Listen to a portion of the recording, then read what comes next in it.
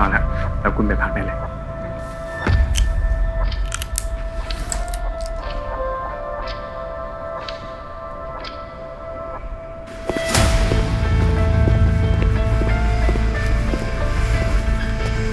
มีอะไรผมรับใช้ครับนาย แกรู้ข่าวแพทลูกชายของฉันแล้วใช่ไหม ครับ ผมขอแสดงความเสียใจด้วยนะครับนาย ลูกชายฉันตายเป็นสิบปี ฉันเพิ่งจะรู้นะว่าเป็นฝีมือของไอ้เด็กเมื่อวานซื้อกับพวกมัน ใครเหรอครับนาย นางตะวันกับเพื่อนผู้ชายของมัน ตอนเนี้ยตำรวจก็มีหลักฐานในมือยังไม่ค่อยชัดเจน ฉันต้องการให้แกไปทำให้มันชัดขึ้น แกต้องจัดการนางตะวันให้ฉัน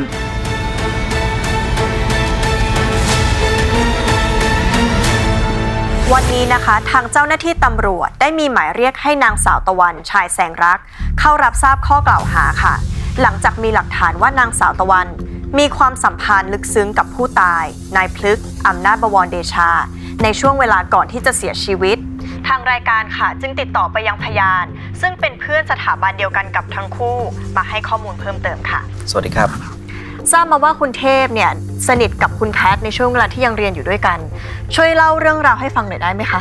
ตอนนั้นผมกับแพทก็สนิทกันมากนะครับ แพทเขาเป็นคนที่มีมนุษยสัมพันธ์ที่ดี แล้วก็มีน้ำใจ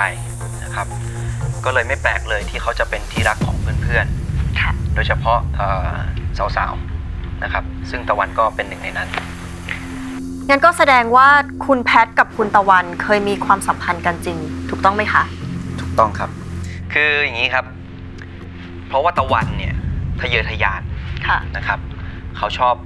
โปรยเสน่ห์ให้ผู้ชาย คือผมมั่นใจเลยว่าในตอนที่เขาคบกับแพทอยู่เนี่ย เขาก็คบกับคนอื่นด้วยอืมเหรอคะ ครับ ทีนี้คนที่ขายยาให้กับแพทก็คือ เพื่อนสองคนของตะวันนั่นแหละ อืมแล้วในคืนวันเกิดเหตุเนี่ย มันเป็นวันที่ตำรวจเนี่ยเขากวาดล้าง พวกที่ขายยาในละแวกโรงเรียน ค่ะ ผมมั่นใจว่าสองคนนั้นเนี่ย เขาคิดว่าแพทเนี่ย คือสาย ก็เลยต้องมีการฆ่าปิดปากเปลี่ยนข้างซะ แล้วฉันจะทำให้แกเป็นคนรวย อย่างที่แกต้องการ จะหมายความว่ายังไงวะ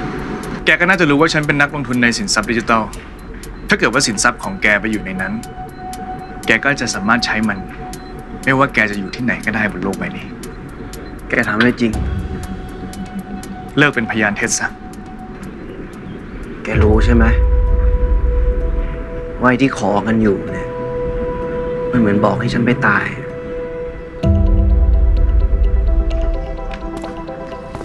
แกกลัวตายที่ไหนวะ แกแค่กลัวไม่ได้ใช้เงินของแกมากกว่า ฉันสามารถทำให้เงินและธุรกิจของแก อยู่ในที่ที่คุณนครเอื้อมไม่ถึง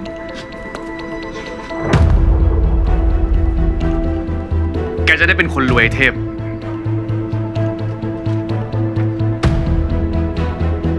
คนรวยจริง ๆ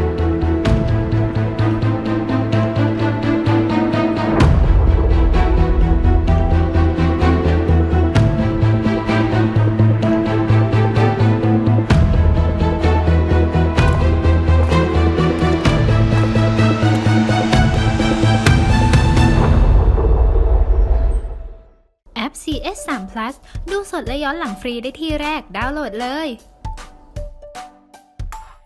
ไม่อยากพลาดละครสนุกกด subscribe ไปไว้นะคะ